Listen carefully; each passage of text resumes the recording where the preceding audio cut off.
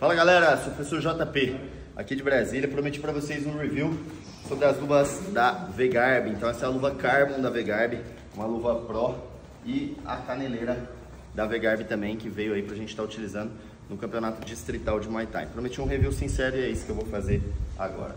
Olha só, primeiro falando sobre a caneleira, tá?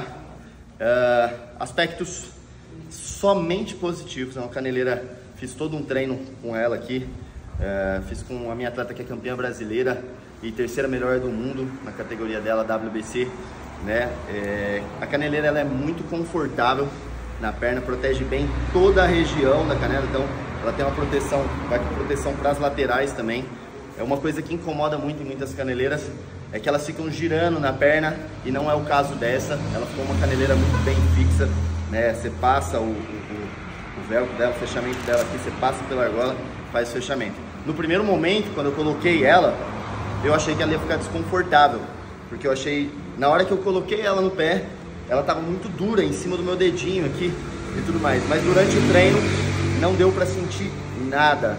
Durante o treino ela fica muito confortável, tal. Foi só um primeiro momento ali, uma, uma primeira impressão que eu achei que talvez iria ficar desconfortável, mas realmente não ficou. Fica muito firme no pé também. O elástico de algumas caneleiras no começo fica apertando muito, essa não. Ela anatomicamente ficou muito boa.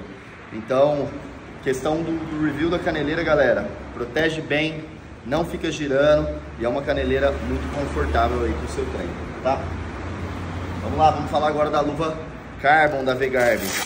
É, um aspecto negativo para mim, que sou pequeno, eu gosto de luvas mais curtas, eu gosto que as luvas elas fiquem um pouquinho mais curtas no punho e a, essa luva da Vegarb, vou mostrar para vocês aqui, ela ficou um pouco mais longa no meu braço, tá? Então talvez porque seja 14 onças também, e eu estou acostumado a utilizar a 12, mas o aspecto, a impressão que eu tive da 14 onças é que ela ficou no punho, para mim ela ficou um pouco larga, tá? Então eu pegaria, se eu fosse pegar da Vegarb, eu pegaria uma 12 onças para mim. A questão de conforto, nos dedos ela fica muito confortável, ainda dá uma sobra, uma pequena sobra aqui na mão, é, o que deixa, fica bem confortável para fechar a mão. No dedão também, tem algumas luvas que ficam apertando. Inclusive eu tive na Tailândia agora, experimentei luvas lá da Twins, da Fartex, da Top King e as luvas ficam muito pequenas no dedão, ficam apertando mesmo que no dedão, não ficou legal. Essa não, ela ficou uma luva muito confortável nessa questão do dedão. Macia também em cima da mão, então quando você toma um chute às vezes na lateral aqui é uma luva que ela protege bem e muito confortável para dar os socos, muito e uma luva leve, tá? É, algumas luvas no mercado elas são luvas mais pesadas, não, não gosto tanto, já esperei inclusive essas luvas lá tailandesas que eu experimentei, eu, eu não gostei, vai ter gente que vai até criticar o vídeo, ah, pô, você não gostou de Twins, Fartex, Top? Cara, eu não gostei, não gostei. Tanto que eu não trouxe de lá, tive lá, não trago, não trago pra usar e não deixei meus atletas trazerem também. É, então é isso, galera.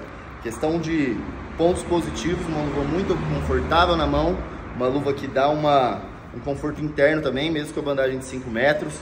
Nos dedos também, na ponta dos dedos não aperta, então uma pessoa mais alta aí, mais pesada, vai utilizar essa luva muito, de forma muito confortável. Ponto negativo para mim, que eu vou falar para vocês de novo, talvez porque seja 14 onças, eu preciso experimentar uma 12 para tirar essa impressão, mas no punho, para mim, ela não, não fechou legal, mesmo apertando muito, ela ainda me dá uma folga, eu gosto da luva bem apertada no punho, beleza? Então essa é, é o meu review sincero aí de alguns dos equipamentos da... Vou aproveitar, né? Já tô aqui mesmo. Eu tenho a bolsa da Vegarb também. Vamos fazer um review aqui. Chega aqui, Gabriel. Olha só. Galera, agora essa daqui pra mim é um aspecto 100% positivo. Vegar, bota estoque aí porque a galera vai comprar uma bolsa. Meu, eu, eu, eu levo né, dois kits de equipamentos dentro da bolsa, sempre dois kits. Deixo guardado aqui. É uma bolsa que eu já estou usando há um certo tempo, tem uns dois anos mais ou menos, e a bolsa continua inteira. Tem zíper na frente, tem zíper nas duas laterais, tá? Então, assim, tem como você levar ela de lateralizada ou levar ela na mão que também tem as alcinhas. Então, fazendo um terceiro review aí, bolsa da Vegarb, que é uma bolsa muito boa para você estar tá colocando seus equipamentos. Valeu! Quer saber um pouquinho mais? Entra lá na própria página, no site da Vegarb. Eu tenho certeza que os preços são né? Tem um ótimo custo-benefício de mercado, a Vegarb.